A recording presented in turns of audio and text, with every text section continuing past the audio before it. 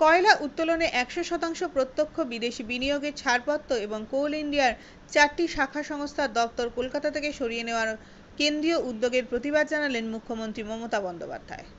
তিনি এই মর্মে প্রধানমন্ত্রী নরেন্দ্র মোদীকে একটি চিঠিও দিয়েছেন।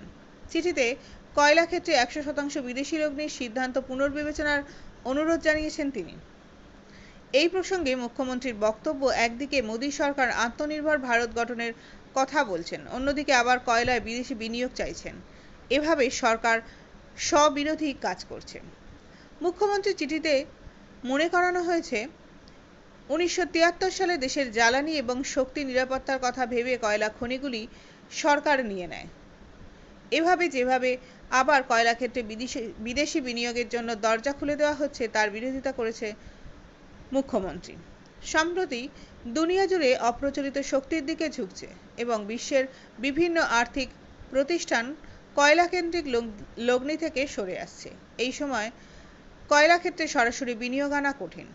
তাছাড়া মুখ্যমন্ত্রী চিঠিতে তুলে ধরেছেন, মোট উৎপাদনের আশি শতাংশ কয়লা কোল ইন্ডিয়ার মাধ্যমে আসে। দু হাজার উনিশ সালে কর দেওয়ার আগে লাভের অঙ্ক ছিল সাতাশ হাজার কোটি টাকা। এছাড়া এই সংস্থার হাতে একত্রিশ হাজার কোটি টাকা রয়েছে। সেক্ষেত্রে এমন লাভজনক সংস্থাতে বিদেশি বিনিয়োগের প্রয়োজন কেন হচ্ছে তা নিয়ে প্রশ্ন তুলেছেন তিনি। আর এই কাজ প্রধানমন্ত্রীর আত্মনির্ভর ভারতের একেবারে বিপরীত পদক্ষেপ।